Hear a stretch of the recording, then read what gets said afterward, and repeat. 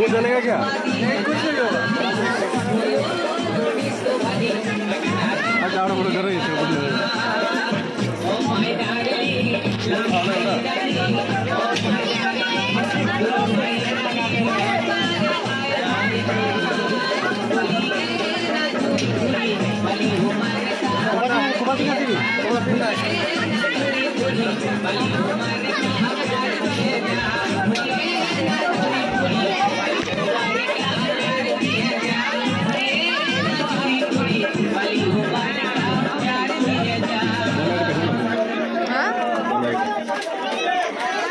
vaiar vaiar vaiar.